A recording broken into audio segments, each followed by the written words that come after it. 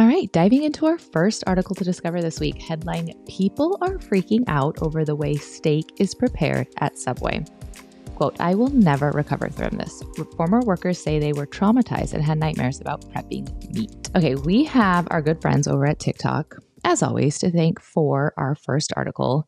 There are, let's just say, maybe some behind the scenes videos going viral of TikTok subway workers prepping steak. And I have to say, people are going wild over it. There are there's not a lot of videos. Like when I was scrolling, I couldn't find a ton of the videos, but the ones that are out there of this, man, they have views behind them. Yeah, so this video actually came from an account, like the original video came from an account called How Food is Made. And I actually thought it was a really cool account. When they posted this video, oh, I totally agree. When they posted this video, it wasn't like a um, I don't think it was meant to be like bad or even scary. Like it's literally just someone like prepping the meat. There's not a lot of commentary or anything.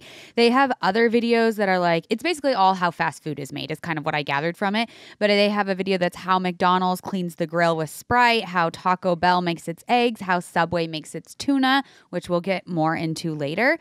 But the video we are covering today, like I said, it really it wasn't bad. It basically was a subway worker that is taking like a large piece of meat that has been like vacuum sealed and they're opening up the vacuum seal bag and breaking the steak into smaller, like sandwich sized portions. To me, it wasn't scary. It was genuinely just like how it was being prepared. So essentially, it was a large chunk of meat that was vacuum sealed. You can see the subway worker like opening up the vacuum sealed bag and like dumping out the meat and then like kind of breaking it into pieces and then taking that and putting into portioned size, what is it? 2.5 ounce portions. Like, it just it wasn't a big deal. Yeah, I think that's what the interesting thing is kind of. Obviously, we found this not through, well, I guess I shouldn't say obviously because you would think you would have found this through the viral video, but we actually saw the headline of this first in uh, a news source and then at least I did. I tracked down the TikToks to watch afterwards. So it was kind of reverse than I think most people. Most people probably saw the social media content and then maybe came across it in a news article. And I think from the news article, I was expecting you know, something big, something major. And like you said, it's it's pretty straightforward. Um, but apparently we're the only ones that feel that way because there are to date, when we read this article, I think was around like 5,000 comments. We just checked. There are now um, over 11,000 comments on this post, and people are shocked. Um, they find it very alarming that this is how Subway steak is prepped. Yeah, as I, I think we've made it clear, like neither of us were shocked at all. Actually, what it reminded me of is how I prep like shredded cheese. So I shred like massive blocks of cheese and then I package them into Ziploc bags.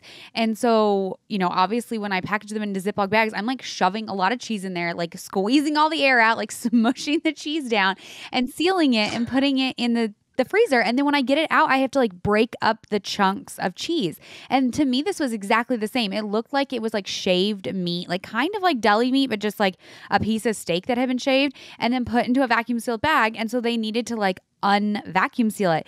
And I'm just like thinking, like, vacuum sealing isn't bad. Do you know like just cuz maybe it's not attractive doesn't mean that it's bad. Like we have to be able to preserve our foods and like keep them safe. Like I'm just like, how else did you think meat was stored? Did you think the store was like taking a steak and like cutting it up into chunks for you and putting it on your sandwich? Like literally my favorite comment actually was wait it's not filet mignon and i was like that is my thoughts exactly like no one at subway is taking a filet mignon and cutting it up and putting it on your sandwich why is anyone surprised totally uh, I'll get to that in a second. But as you were talking about like smashing down the cheese in the vacuum seal, I just imagine me like sitting on a suitcase and like everyone trying to like smash all their clothes. Well, I am trying to pack as much cheese into a bag as possible. You are trying to pack as much clothes into a bag as possible. And that just like sums up our relationship. Literally, though. Um, so no, I think it's funny that you said like do they think they were like grilling a filet mignon in back and then bringing it out to front? And i think this goes back to something i talked about like a couple episodes ago where when it comes to our food system like you can't have cheap fast and affordable all together. Like it just i mean that's with any industry but on this podcast we obviously talk about like food. But when it comes to products like it's darn near impossible to make that happen just from like an economic standpoint.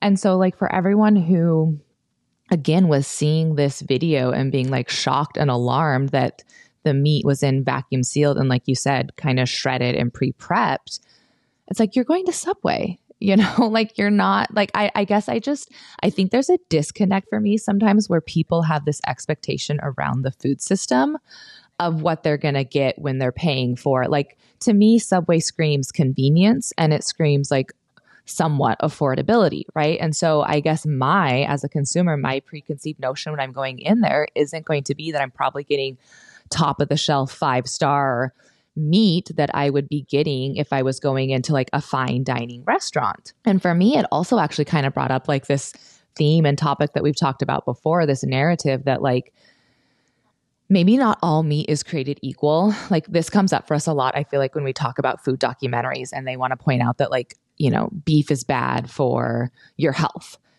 Let's use that example. And it's like they're talking about, you know, deli meat or hot dogs and you're like well that that's completely different than other forms of meat like a whole cut form of meat and for me that's how I felt like I just never would guess that I'm getting top of the shelf you know hand grilled two inch cut steaks from ribeye if I'm ordering the ribeye sandwich. No, I completely agree. I think that we have definitely confused different like ways that meat is prepared.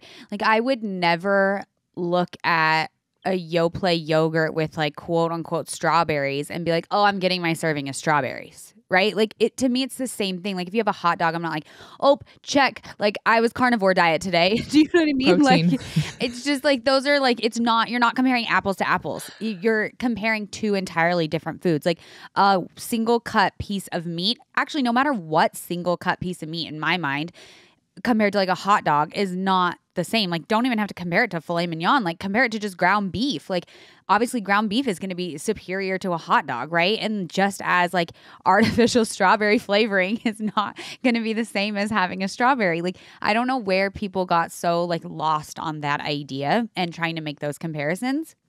But going back to the comments on the video, I seriously was just like hackling at a lot of these comments. I really appreciated the one that was like, "Well, tomorrow I'll be getting the Philly cheese steak," and I was like, "Yep." like, like, you are, my, are my people. You are my people. There was also a lot of comments about like the differences between like UK and Australia, and there was just so many like, "Oh, we have real food in Australia." As yep. always, and yep. I was like, I bet it's probably almost identical if I had to guess. Like very few changes between them. Actually, call out to our uh, out of country discos.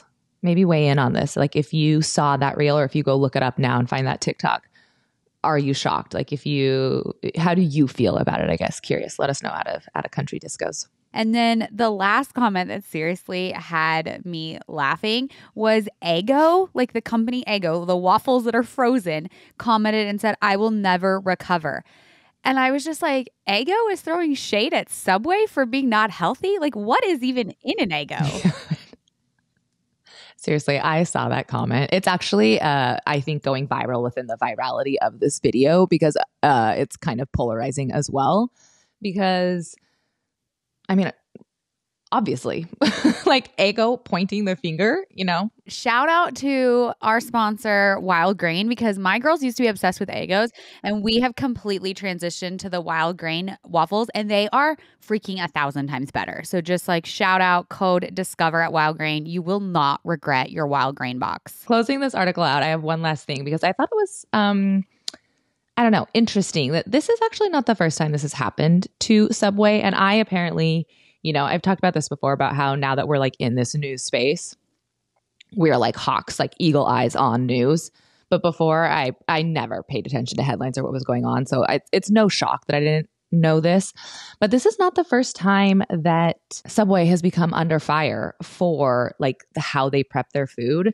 Um, a few years ago, the Washington Post actually put out an article called "Subway's Tuna is Not Tuna." Plaintiffs say lab tests reveal a fishy imitation of various concoctions. And in rebuttal, this kills me. In rebuttal, Subway actually launched an entire website to prove that their two note was real, which I think seems a little aggressive, but on the other hand, I think they probably like as a PR standpoint, that was probably the best thing they could have done to just like squash the way that um these things like headlines and things like that, sound bites, clickbaits, all of that can like get carried away. So I'm really curious to see what Subway will do this time around because this is pretty fresh still right now. And I'm wondering like it will they you know, attack this kind of in the same way and handle it the same way they did the tuna? Are they going to let it blow over? Like, what will come kind of from this viral virality they're getting around the beef preparation? Yeah, I'm curious too because Subway's been making a lot of changes. Like, we feel like we covered this a long time ago, or I don't know, at least several months ago. Wasn't that no? long? Where they're like slicing their own like deli meat now in house, even though I heard Mm-hmm. that's like rarely happening from some of these viral videos that were going around.